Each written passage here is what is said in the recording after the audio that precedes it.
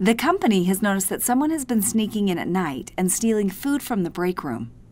They have a list of IDs and swipe times from the building badge readers, but no names. In order to get the names, they will need to join the badge swipe data to an HR table. To do this, they need to identify a related column between the tables. In both of their data sets, the related column is Employee ID.